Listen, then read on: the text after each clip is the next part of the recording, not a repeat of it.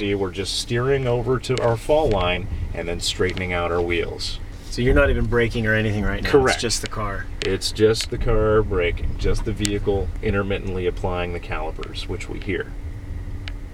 Uh, uh, not anymore.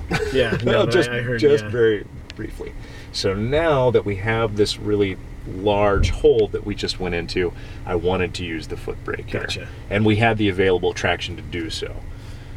So now we're going to have a little bit of a slick spot as well. So with that in mind, we want to probably stay in mud and ruts, anticipating uh, any wheel spin and go back into drive to make sure that the vehicle can upshift if need be.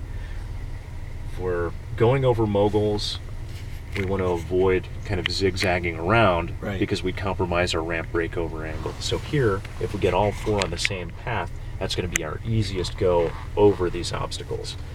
So we're going to slide a little bit over to the left to get our rear wheels to line up with where we want them. So we're always steering with our rear wheels in mind. And this is going to be extremely counterintuitive because what we want to do is actually straighten out all our wheels and just like that last obstacle that we did, the little divot, the hole that we went through, we want to make sure our wheels are nice and straight once nice and straight once we get lined up here and avoid the tendency to want to correct as we're going along. So here is a great spot for left foot braking. It's just a way to ease ourselves over here and again minimize our suspension compression, ultimately maintaining a better amount of ground clearance. So this way no one spills their champagne in the back, right? Right. There we go. yeah, that's wild. You can feel the wheels coming up off the ground. Exactly. So here we're slightly off course.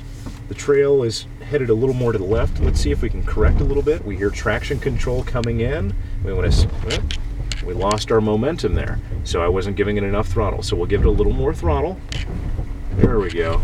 And so it's finessing the throttle to get us to that point where we're maintaining just the right amount of momentum. And then as soon as we start to crest over the other side, gravity accelerates us, so we have to be quick onto the brake. There we go.